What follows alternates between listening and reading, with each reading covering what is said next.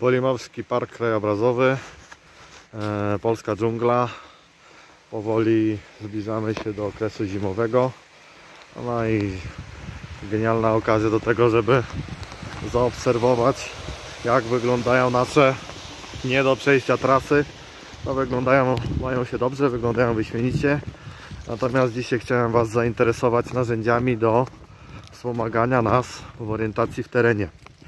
Eee, przepiękna pogoda dziś, więc możemy zacząć od tych, które są dość pewne, sprawdzone, czyli praca z zegarkiem, zegarkiem wskazówkowym. Eee, warto się tym zainteresować, w jakich porach roku i jakie będą nam wskazania pokazywać się, eee, kiedy będziemy używali tej metody i jakie metody na przykład są metodami wspomagającymi. Na przykład mech na drzewie, e, mrowisko, e, e, czy cień powstały o, w trakcie kiedy się ustawiamy na przykład o, tak jak teraz. Dobra.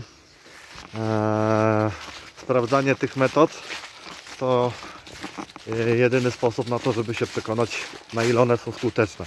Nie wszystkie są skuteczne, dlatego warto je testować. Testuj razem z nami. Piona tymczasem jest co oglądać i podziwiać. Jak widzicie, pozdrawiam.